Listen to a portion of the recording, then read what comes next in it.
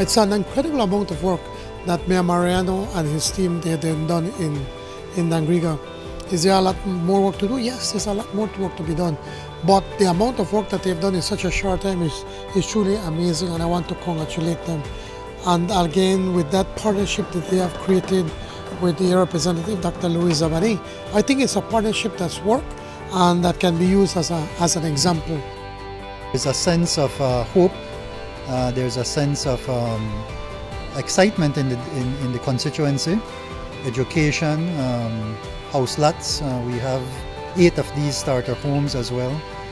I love being out on the ground, love talking to people, looking at the work, looking at what we've been doing, seeing how we're transforming the lives of our citizens.